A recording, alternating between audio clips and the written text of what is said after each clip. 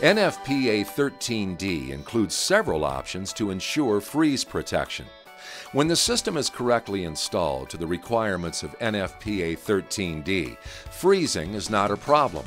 This may include installing sprinkler piping in interior walls, avoiding placement of pipes in unheated attics, or, in the alternative, using insulation or installing dry pipe systems, which keep all water out of sprinkler pipes until a sprinkler activates.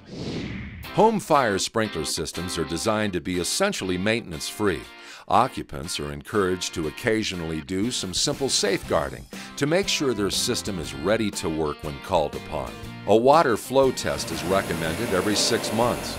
This requires opening the valve slowly if there is an alarm on the sprinkler system, it may take up to 60 seconds for the alarm to go off.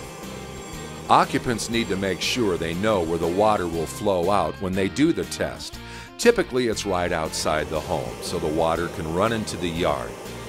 If the sprinkler system is connected to a central alarm monitoring system, it's important that the monitoring company is notified that the sprinkler system is being tested, so they know it's not a real fire.